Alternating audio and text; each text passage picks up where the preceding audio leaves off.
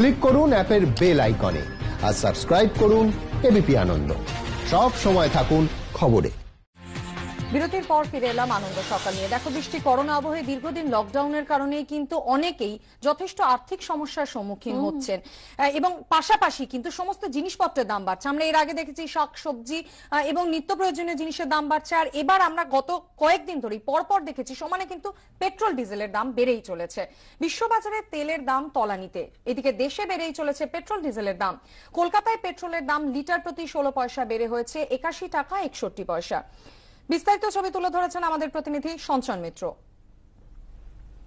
লাগাতার বাড়ছে জ্বালানির দাম। আজ কলকাতায় পেট্রোলের দাম একাশি টাকা একষট্টি পয়সা প্রতি লিটার।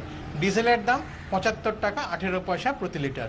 গত উনিশ দিন ধরে প্রায় লাগাতার দাম বেড়েছে পেট্রোল এবং ডিজেলের। এবং এই কদিনে যেটা দেখা যাচ্ছে যে পেট্রোলের দাম বেড়েছে লিটার প্রতি আট টাকা একত্রিশ পয়সা এবং ডিজেলের দাম বেড়েছে ন টাকা ছাপ্পান্ন পয়সা।